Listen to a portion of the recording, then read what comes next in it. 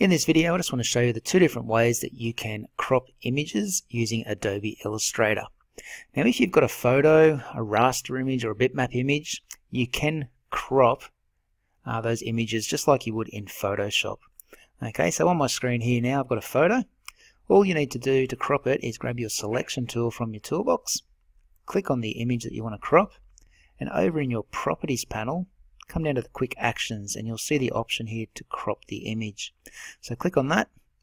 Just a little warning will come up saying that the original file won't be linked anymore and actually going to embed it into your document. That's fine, so click OK. And you can see those usual little crop tools that you expect to see in programs like Photoshop. So hold shift and just start dragging in from a corner. Okay, that way it will keep its proportions if you hold shift. If you don't care about proportions, by all means, just grab any old corner and start cropping as you see fit.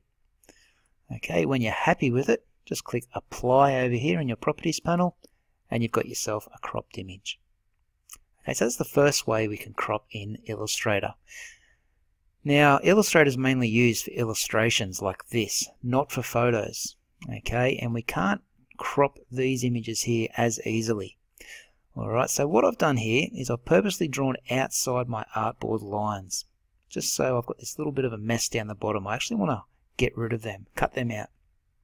Alright, so what I need to do is I need to make a clipping mask. And the way we do that's quite simple. We go over and grab our rectangle tool from our toolbox here. Turn the fill off, so in your fill color there, make sure you've turned it off by having the white box and the red line through it. And we're going to choose a stroke. It doesn't matter what color. I'm going to choose bright red because there's no other red in my document, so we'll be able to see it clearly. And I'll turn that up to about 5 point just so you can see it as well. And what I'm going to do is draw a red rectangle around the border there of my page. So it follows the lines of the artboard. With my selection tool, I'll just click off everything and you can clearly see that red border now. What I want to do is keep everything inside of that border and just get rid of what's below it.